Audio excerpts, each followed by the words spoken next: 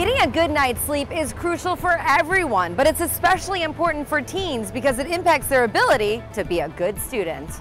Especially for teens, their academic health, their ability to concentrate in school. And some of the psychological aspects are their mood, their irritability factor goes up. So you can imagine people kind of label teens as, oh, they're just a moody teen, but oftentimes my bigger question is, are they getting enough sleep? And the answer is no.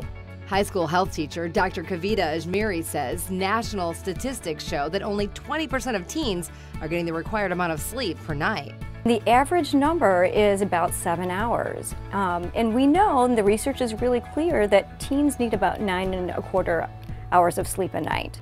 Dr. Kavita teaches the importance of sleep at Francis W. Parker School in Lincoln Park. She's teaching tools to help kids get higher quality and more sleep so they can perform better in and out of the classroom.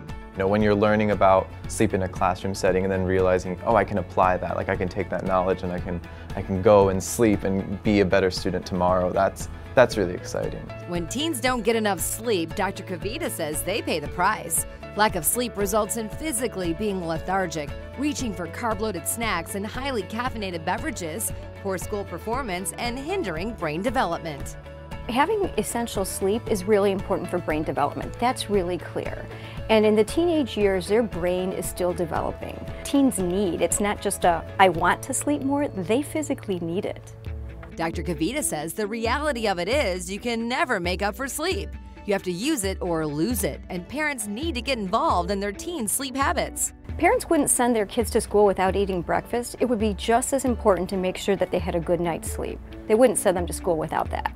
And without sleep education and parents' enforcement, kids say they notice a difference. If I don't get sleep on Sunday night, it could affect, you know, uh, all the other days to come. I was in class and there was a movie and the lights were off and then all of a sudden I just kind of like dozed off for a few minutes. Dr. Kavita says light signals our brain to stay up. So to power down the computers, the television, and phone an hour before bedtime.